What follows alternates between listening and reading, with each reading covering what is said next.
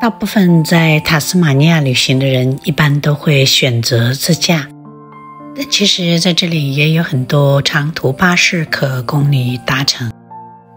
坐大巴从德文港到赫巴特的话，大约要五个小时。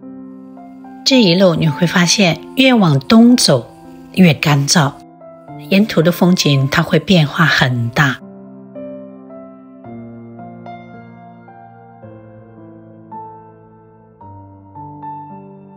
在塔斯马尼亚，我看到了好多好多的黑天鹅。赫巴特是塔斯马尼亚的首府，人口大约二十来万。城市当然算不上很大，但其实它是除悉尼之外，澳洲的第二古老的城市。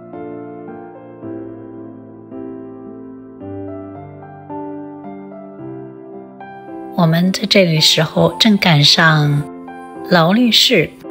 悉尼到赫巴特这个帆船赛在举行，这个帆船赛应该是全世界都很有影响力的一个比赛。它是勇士们的航海竞争，其中有的赛段的这个航线呢，行驶起来非常的艰难，甚至曾经好像也出过事故，因为海上是有大风暴的。赫巴特作为终点站，在这里我们看到的更多的是休闲放松的人们。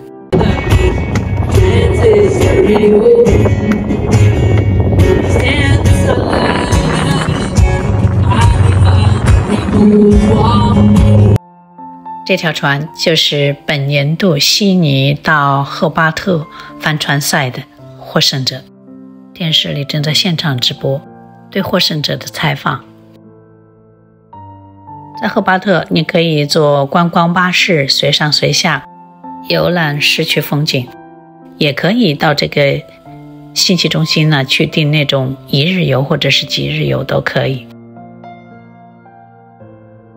我们就在这里订了两个一日游，其中一个是去往这个惠灵顿山。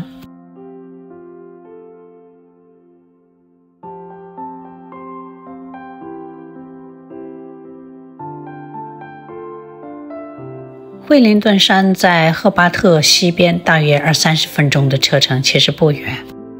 惠灵顿山海拔其实也不高，才一千二百七十一米，但是山顶视野极其的开阔，可以居高临下俯瞰赫巴特的美景。不过这里气温真的好低好低啊，风还特别的大，在上面你就感觉几分钟人的手就要冻僵了。山上很多很多石头，但是从这里往海边看的话，看整个赫巴特真的很美。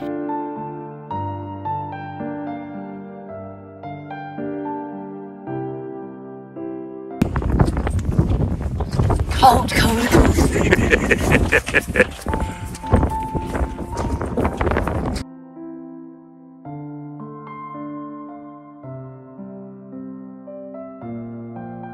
这个是瞭望台，实在怕冷，你可以到这里去待着，相对暖和一些。还有栈道可以走一走。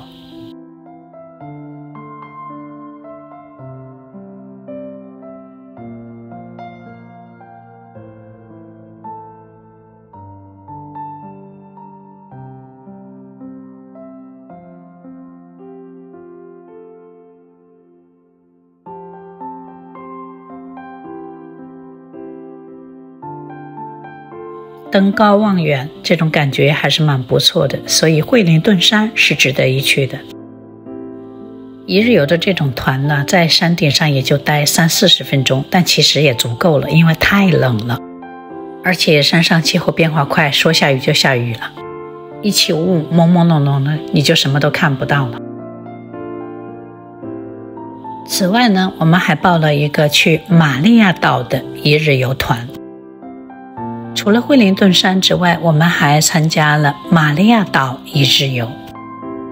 去往玛利亚岛必须搭乘渡轮，因为那是一个无人居住的小岛，主要是野生动物的天堂，还有一些很美的景点。但是越美的地方，徒步的时间越长，有的需要六个小时左右往返。这个小岛最初的时候，上面建有监狱，还有水泥厂。Is it prison? Well, somewhere was.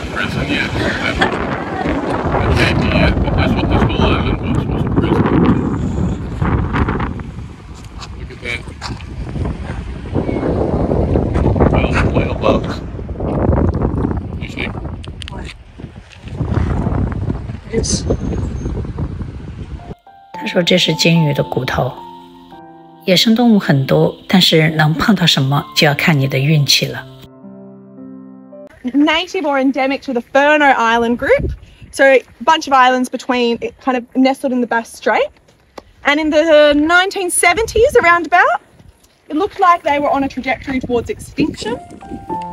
导游介绍说，这种巴伦角蛾它的奇特之处就是它可以依赖海水这种咸水而生存。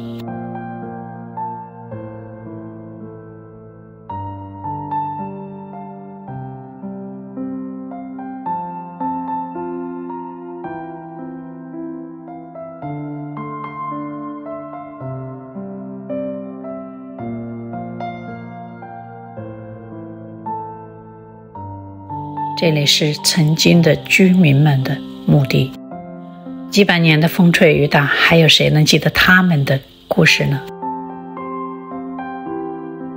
这里应该是供飞机起降的地方，我看到很多水上飞机在这里掠过。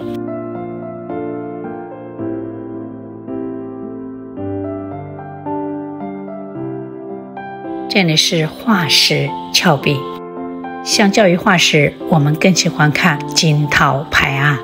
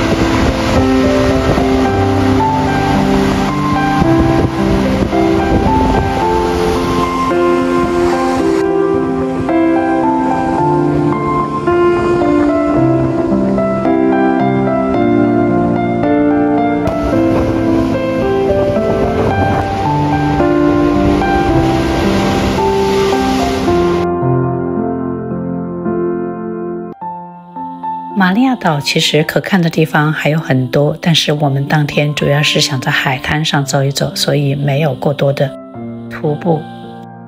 还有一种团是那种坐那种渡轮呢，绕着岛看，那种的话相对自己步行就节省时间，看到的东西也会多一些，比如彩绘峭壁，看上去就不错。也许是出来时间太久了，我们的兴致已经不高了。当天我只想在海滩上好好的躺平。就这样，在暖暖的阳光下，在微凉的海风中，我竟然睡了很长时间。而在赫巴特的一周，我们就去了这两个地方，其余都是自己放松。然后我们要飞往墨尔本。